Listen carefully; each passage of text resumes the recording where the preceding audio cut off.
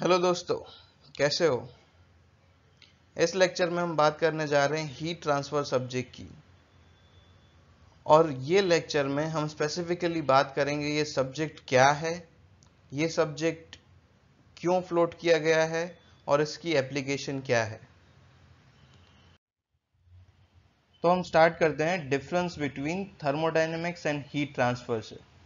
ये जो वर्ड है हीट उसके बारे में आपने एक्सटेंसिव डिस्कशन किया था जब आपने थर्मोडाइनमिक्स पढ़ा था। बट अगर आपने एक चीज़ नोटिस की है तो थर्मोडाइनमिक्स में हमने इक्विलिब्रियम स्टेट की बात की थी। मतलब आपकी बॉडी जो है, वो एक स्पेसिफिक स्टेट पर है। उसका स्टेट चेंज नहीं हो रहा है that is in equilibrium equilibrium चार टाइप के होते हैं। मैकेनिकल फिर थर्मल फिर chemical and fourth phase equilibrium right मतलब आपकी बॉडी इक्विलिब्रियम में है तब आपने बात की थी। अब जैसे कि एक बॉडी ले लो that is in equilibrium state अब मैं क्या कर रहा हूँ, ये बॉडी को हीट सप्लाई कर रहा हूँ। अब हीट सप्लाई करने से क्या होगा? बॉडी अभी स्पेसिफिकली टी टेम्परेचर पे थी तो उसको हीट मिलने से वो टी प्लस डेल्टा टी मतलब कुछ अलग टेम्परेचर ज़्यादा टेम्परेचर पे आ जाएगी। है ना? तो थर्मोडाइनमिक्स यहाँ पर किस चीज़ के लिए कंसर्न है? थर्मोडाइनमिक्स अगर आप स्टडी कर रहे हो तो the topic of concern is how much amount of heat is supply to the body that's all thermodynamics बस इतनी ही चीज़ से वाकिफ है। Right right?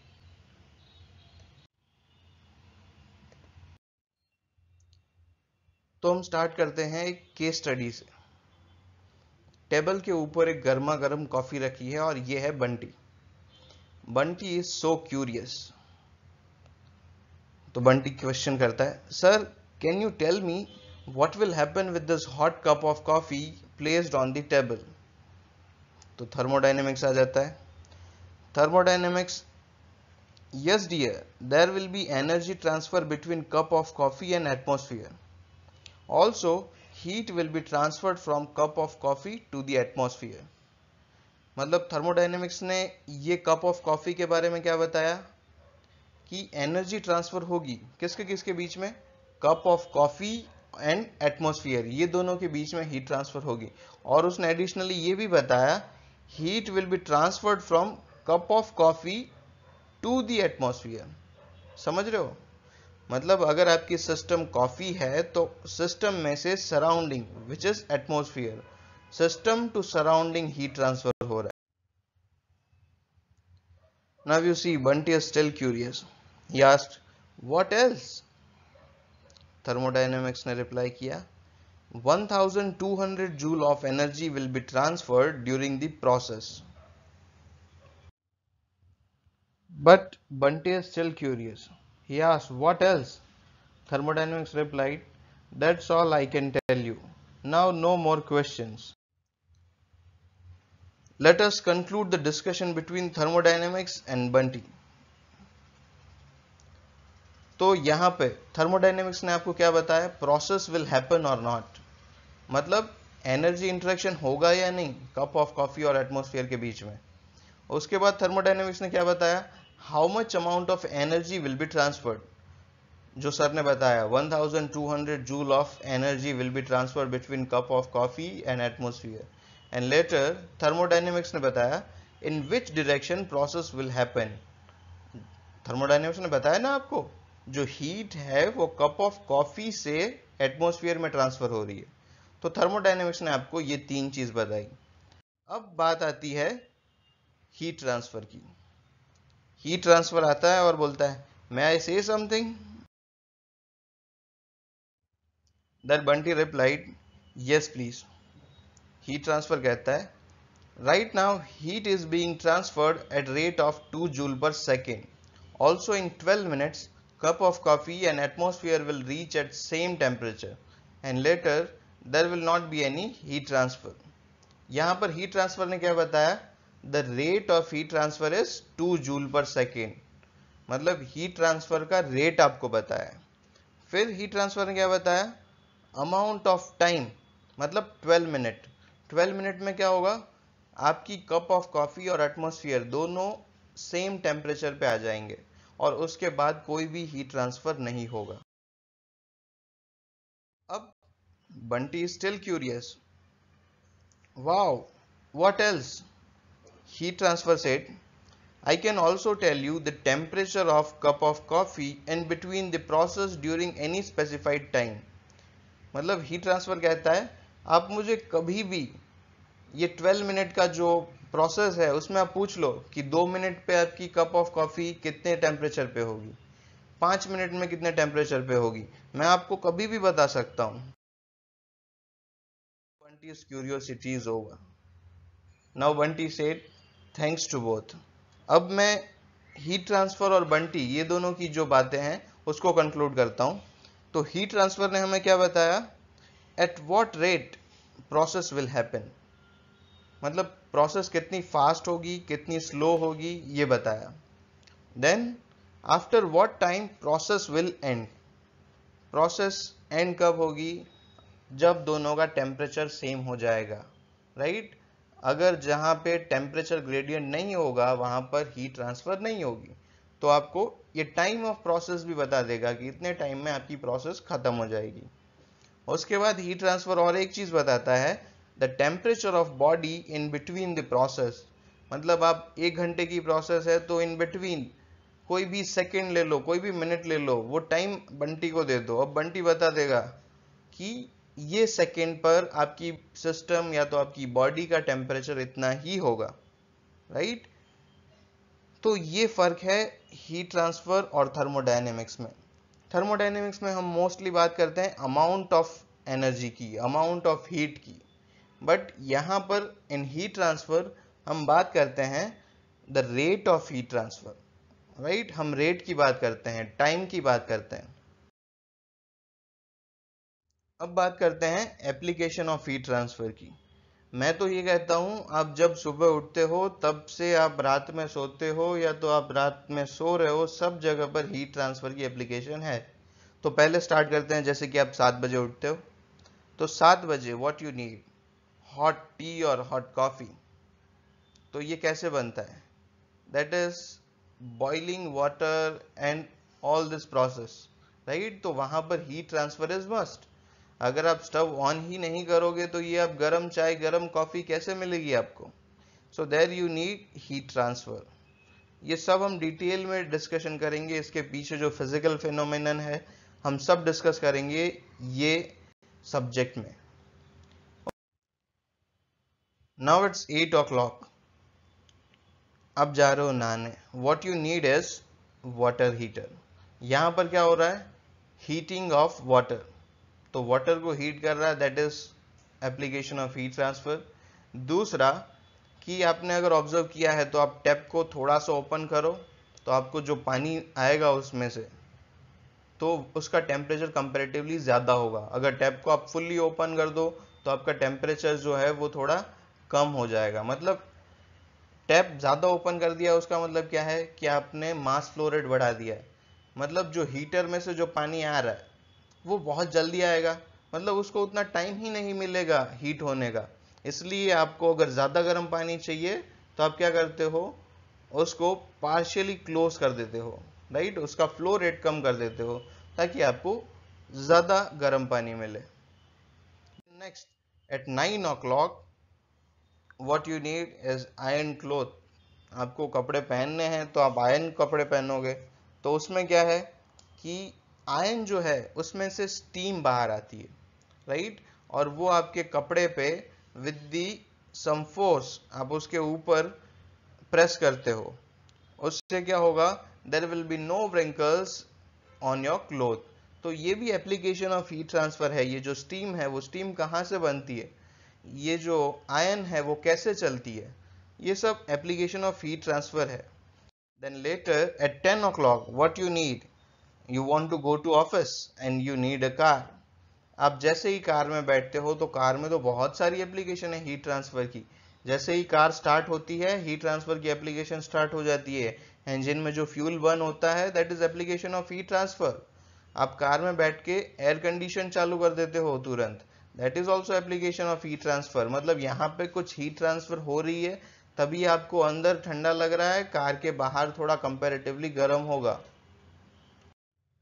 Now it's twelve o'clock आपको लगी है भूख। What you need is food तो गर्मा गर्म फ़ूड कहाँ से मिलेगा? माइक्रोवेव ओवन राइट तो यहाँ पर आप कुछ भी ऑब्जेक्ट रख देते हो, उसके बाद उसमें क्या फ़िज़िकल प्रोसेस होती है? ताकि वो कुक हो जाता है। तो that is application of heat transfer वहाँ पर एक मोड ऑफ़ हीट ट्रांसफ़र की बात होगी। वो हम डिटेल में डिस्कशन करेंगे जब ये सब्जेक्ट हम आगे आगे बढ़ते जाएँगे। Right right? तो वहाँ पर फ़िज़िकल प्रोसेस क्या हो रही है? वो application of heat transfer then later at two o'clock आप सोफा पर बैठे हो लैपटॉप यूज़ कर रहे हो, कब से? तो क्या होता है? You will feel heat on your thighs ये लैपटॉप गर्म हो जाता है ना तो लैपटॉप गर्म क्यों हो जाता है? लैपटॉप में क्या होता है? उसमें होता है करंट। करंट जो होता है वो रेजिस्टर मतलब आपके माइक्रो प्रोसेसर ये सब में घूमता रहता है।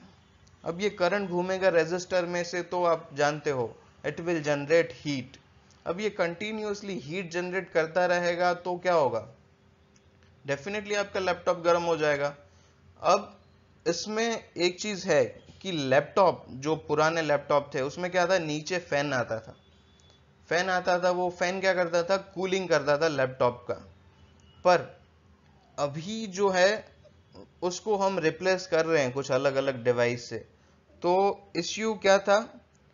फ़ैन लगाने से। पहले तो कूलिंग जो मिलती थी, वो इतनी सफिशियंट नहीं थी। और दूसरा, कि वो नॉइज़ जनरेट करता था। आप बैठे हो और आपको लग रहा है आपका लैपटॉप है या हेलीकॉप्टर कंटिन्यूसली घुर घुर घुर घूमे ही जा रहा है राइट तो अभी जो, जैसे कि मैकबुक है तो मैकबुक में ये फ़ैन नहीं होता है। उसमें कुछ अलग हीट ट्रांसफ़र डिवाइस होता है, जो आपको लैपटॉप को कूल रखता है। उसमें उतना हीटिंग प्रॉब्लम भी नहीं होगा, जितना वो पुराने लैपटॉप में होता था राइट तो ये डिवाइस कौन बनाता है? जो हीट ट्रांसफ़र सब्जेक्ट को अच्छे से पढ़ता है, जो हीट ट्रांसफ़र अच्छे से एनालाइज करता है right next at five o'clock you go to beach आप बीच पे जा रहे हो तो वहाँ पर अब आप ये पूछोगे बीच पर कहा हो गई एप्लीकेशन हीट ट्रांसफ़र की? तो बीच पर क्या है? आपने आपको क्या ज़्यादा फील होता है? Wind right right? बहुत सारी हवा आती है। मतलब देखो, ये विंड की डायरेक्शन विंड की डायरेक्शन जो है, वो भी हीट ट्रांसफ़र के रिलेटेड है। आपने कभी देखा होगा कभी विंड आपके घर में इस तरफ़ से आता है कभी उस तरफ़ से आता है राइट अब विंड की डायरेक्शन चेंज क्यों होती है? सो so, वहाँ पर भी हीट ट्रांसफ़र की एप्लीकेशन है। तो आप बीच पे जाओगे तो बीच की तरफ़ से आपको ठंडी हवा आ रही है या तो सिटी से बीच की तरफ़ हवा जा रही है। That is application of heat transfer now now it's nine o'clock at evening आप अपने पार्टनर के साथ बीच पे गए हो और वहाँ पर आपने बॉनफायर जला लिया है। तो यहाँ पर एक मोड ऑफ़ हीट ट्रांसफ़र का कंसेप्ट आता है दैट इज़ रेडिएशन उसके बारे में भी हम डिस्कशन करेंगे जब ये हम आगे पढ़ते जाएँगे तब राइट right? तो बहुत सारी एप्लीकेशन है। ये हमने देख लिया सुबह उठ के सात बजे से रात को नौ बजे तक। Everywhere you are dealing with heat transfer अब बात करते हैं इंडस्ट्रियल एप्लीकेशन की। इंडस्ट्रियल एप्लीकेशन में पहले बात करते हैं बॉयलर की। बॉयलर में क्या होता है कि नीचे से कोल बर्न हो रहा है और कोल बर्न होके ये जो ऊपर लिक्विड फॉर्म है, वो लिक्विड फॉर्म का कन्वर्जन होता है वेपर फॉर्म में। और ये जो वेपर है, वो सप्लाई होती है टर्बाइन को और टर्बाइन में से पावर डेवलप होता है। But that is not our area of concern अब हम बात करते हैं हीट एक्सचेंजर की। हीट एक्सचेंजर में क्या होता है? कि दो फ्लूड के बीच में हीट इंटरेक्शन होता है। बट ये भी ज़रूरी नहीं है कि दो फ्लूड के बीच में ही हीट इंट्रैक्शन हो। आप गीजर ले लो तो गीजर भी एक हीट एक्सचेंजर है। उसमें क्या हो रहा है?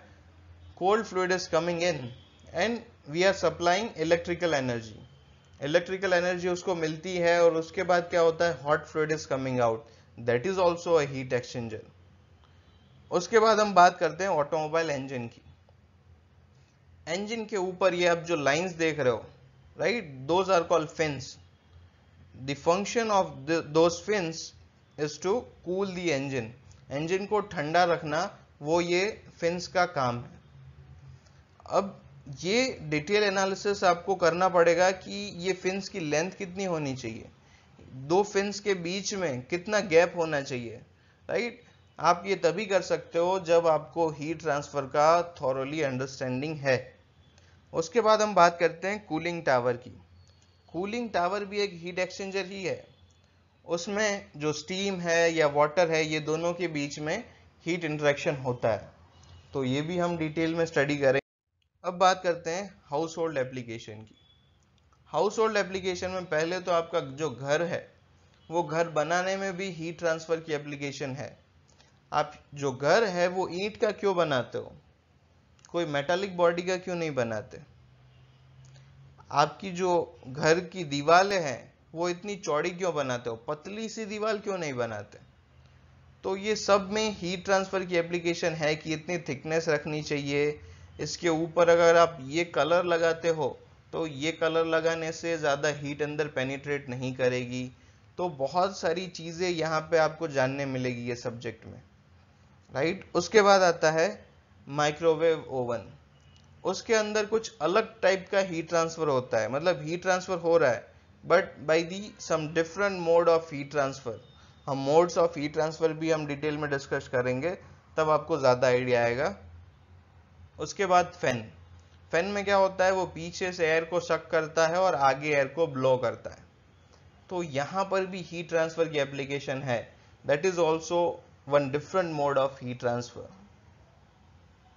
उसके बाद एयर कंडीशन एयर कंडीशन तो बहुत ही ज़्यादा ज़रूरी है।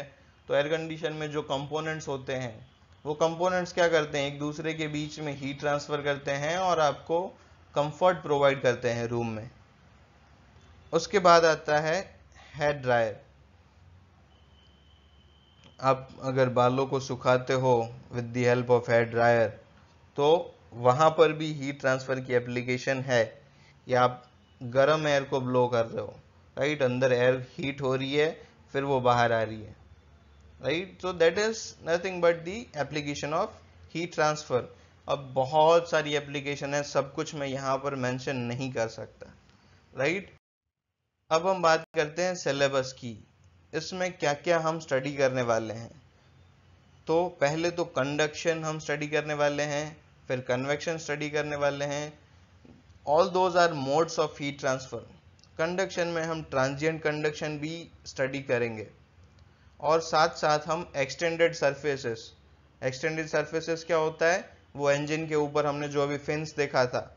Those are call extended surfaces वो हम स्टडी करने वाले हैं। राइट? और ये सब्जेक्ट है, वो स्कोरिंग सब्जेक्ट है। बट एक चीज़ चाहिए, आपका फोकस देन नेक्स्ट रेडिएशन हम स्टडी करने वाले हैं। Radiation is also mode of heat transfer जो सन पे से अर्थ पे आता है that is a heat transfer that is radiation right तो वो भी एक हीट ट्रांसफ़र का मोड है, वो भी हम स्टडी करेंगे। उसके बाद हम हीट एक्सचेंजर स्टडी करेंगे। हीट एक्सचेंजर मतलब आप को जैसे कि एक लैपटॉप कूल करना है। लैपटॉप कूल करने के लिए आप एक रूम जितना बड़ा हीट एक्सचेंजर डिज़ाइन नहीं कर सकते। तो बेस्ड ऑन दी परफॉर्मेंस जैसे कि आपके पास एक हीट एक्सचेंजर है तो उसका परफॉर्मेंस कैसे निकालोगे? वो सब आप एनालिसिस करोगे और उसके बाद आता है two phase heat transfer two phase heat transfer is most trending topic in research अभी इस पे बहुत सारा रिसर्च हो रहा है कि जैसे स्पेस क्राफ्ट है तो स्पेस क्राफ्ट में कूलिंग के लिए आप कन्वेंशनल मेथड यूज़ नहीं कर सकते।